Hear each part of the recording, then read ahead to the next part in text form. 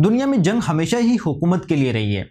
हर कोई हुक्मरान बनना चाहता है, हुक्मरान बनकर हुक्मरानी करना चाहता है, अपनी इन्फ्लुएंस चाहता है, अपनी ताकत चाहता है। और यही जंग हमेशा से सब कॉन्टिनेंट में भी रही है।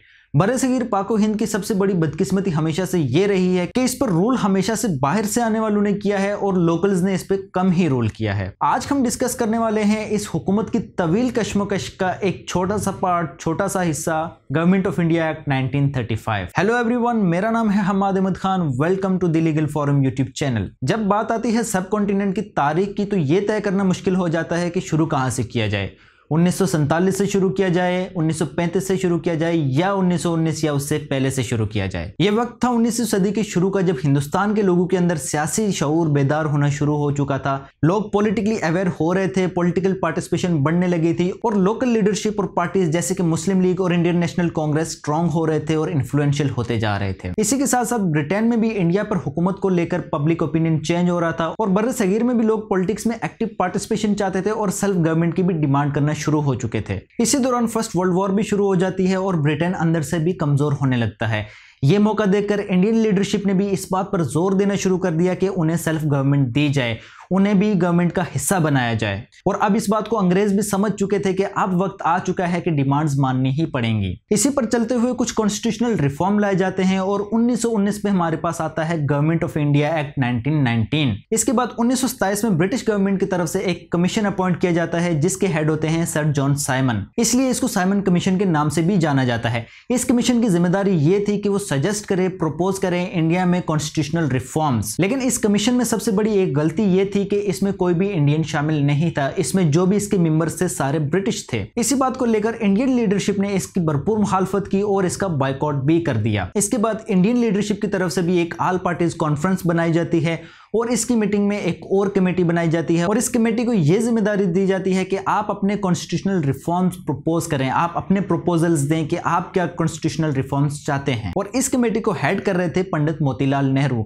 यह कमेटी भी 1928 में अपनी एक रिपोर्ट पब्लिश करती है, जिसे हम नेहरू रिपोर्ट के नाम से भी जानते हैं। अब मोहम्मद अली जिना को नेहरू रिपोर्ट कुछ ज़्यादा पसंद नहीं आती और इस पर होते हैं उनके कुछ तहफात जिसके चलते हुए वो अपने चौदह नुकात भी पेश करते हैं। अब हमारे पास यहाँ पर तीन चीज़ें आ चुकी हैं। साइमन कमीशन की रिपोर्ट, नेहरू रिपोर्ट और जिना के 14 पॉइंट्स। इसके बाद एक के बाद दीगर तीन राउंड टेबल कॉन्फ्रेंसेज होती हैं 1930 से लेकर 1932 तक।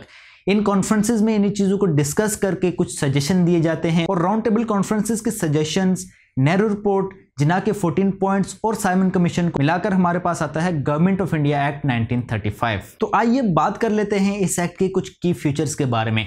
It was the lengthiest act of that time containing three hundred and twenty one section 14 parts and 10 schedules अब इस एक्ट के मुताबिक इंडिया को एक फेडरेशन बनना था, जिसमें ब्रिटिश इंडिया और प्रिंसली स्टेट्स दोनों ही शामिल होने थे। अब जो प्रिंसली स्टेट्स थी, उन्हें ये ऑप्शन दिया गया था कि वो चूज़ कर सकें कि उन्हें शामिल होना है या नहीं। लेकिन ऐसा कभी हो नहीं सका, क्योंकि जो प्रिंसली स्टेट्स थी, उन्होंने इसमें कोई भी इंटरेस्ट शो नहीं किया। इस एक्ट का अगला और बहुत अहम की फीचर ये है कि इसमें प्रोवेंसेस की पावर बढ़ा दी गई थी।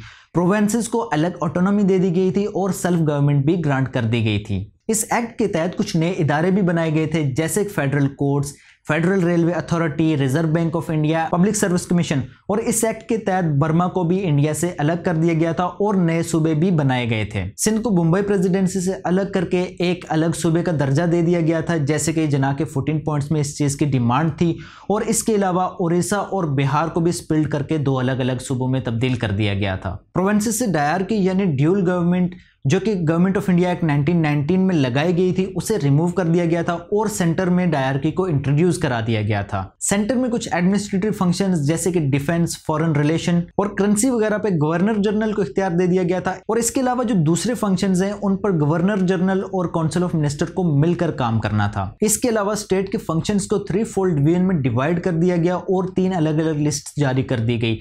फेडरल लिस्ट प्रोविजनल लिस्ट और कंकरेंट लिस्ट फेडरल लिस्ट में जो भी सब्जेक्ट्स थे, उन पर पर लेजिस्लेशन का इख्तियार फेडरल को दे दिया गया था। प्रोविंशियल लिस्ट में जो भी सब्जेक्ट्स थे, उनका इख्तियार प्रोविंस को दे दिया गया था और जो सब्जेक्ट कंकरेंट लिस्ट में थे, उन पर सेंटर और प्रोविंस दोनों मिलकर लेजिस्लेशन कर सकते थे। ये थे इसके कुछ इंपॉर्टेंट की फीचर्स इसके बाद हम देखेंगे फेडरल लेजिस्लेचर को और प्रोविंशियल लेजिस्लेचर को। अगर हम बात करें फेडरल लेजिस्लेचर की तो इस एक्ट के हिसाब से फेडरल लेजिस्लेचर को बाई कैमरल रखा गया था। यानी इस पे दो चैम्बर्स काउंसिल ऑफ़ स्टेट और हाउस ऑफ़ असेंबली थे। और इसके अलावा किंग को हेड ऑफ़ द स्टेट बनाया गया था, जिसे रिप्रेजेंट करना था गवर्नर जनरल ने। काउंसिल ऑफ़ स्टेट में टोटल टू सिक्सटी सीट्स थी, जिसमें से 156 ब्रिटिश इंडिया और 104 सीट्स प्रिंसली स्टेट्स को दी गई थी। इसमें 49 सीट्स मुस्लिम, छह सीट्स फीमेल्स सात सीट यूरोपियन और दो सीट सिखों के लिए भी रिज़र्व कर दी गई थी। फेडरल लेजिस्लेचर को सिर्फ़ उन सब्जेक्ट्स पर लेजिस्लेशन का इख्तियार था जो कि फेडरल लिस्ट में मौजूद थे और फेडरल लेजिस्लेचर कोई भी ऐसा लॉ नहीं बना सकता था जो सॉवरन यानी कि क्राउन या रॉयल फैमिली को अफेक्ट करते हों, या फिर गवर्नमेंट ऑफ़ इंडिया एक्ट 1935 के बेसिक स्ट्रक्चर को वायलेट करता हो। इसके बाद अगर हम बात करें प्रोवेंशियल लेजिस्लेचर की तो 11 में से छह प्रोवेंसेज यानी यूनाइटेड प्रोवेंस बंगाल मद्रास आसाम बिहार और मुंबई इन प्रोविंसेस के लेजिस्लेचर बाई कैमरल थे और इसके अलावा जो बाकी बचे हुए पाँच प्रोवेंसेस हैं, जिनमें सेंट्रल प्रोवेंस पंजाब, उड़ीसा सिंध और नॉर्थ वेस्ट फ्रंटियर प्रोविंस इनके लेजिस्लेचर यूनिकैमरल थे। प्रोविंसेस से डायरकी यानी ड्यूल गवर्नमेंट को खत्म कर दिया गया था और प्रोविंशियल लेजिस्लेचर्स को उन तमाम सब्जेक्ट्स पर लेजिस्लेशन करने की इजाज़त थी जो कि प्रोविंशियल लिस्ट में थे। और सेंटर की तरह प्रोविंस भी कोई भी ऐसा लॉ नहीं बना सकता था, कोई भी ऐसी लेजिस्लेशन नहीं कर सकता था जो सॉवरन यानी क्राउन या रॉयल फैमिली को डायरेक्टली अफेक्ट करे या गवर्नमेंट ऑफ़ इंडिया एक्ट 1935 के बेसिक स्ट्रक्चर्स को चेंज करे। आज की वीडियो में इतना ही। उम्मीद करता हूँ ये वीडियो आपके लिए हेल्पफुल रही होगी। अगर आपको ये वीडियो पसंद आई है तो इसे एक लाइक ज़रूर दें, अपने दोस्तों के साथ भी शेयर करें और इस चैनल को लाजमी सब्सक्राइब करें ताकि मजीद इसी तरह की वीडियोज़ आप तक सबसे पहले पहुँचती रहें। इसी के साथ मैं हमाद अहमद खान नेक्स्ट वीडियो तक के लिए आपसे इजाज़त चाहता हूँ। अल्लाह हाफिज़।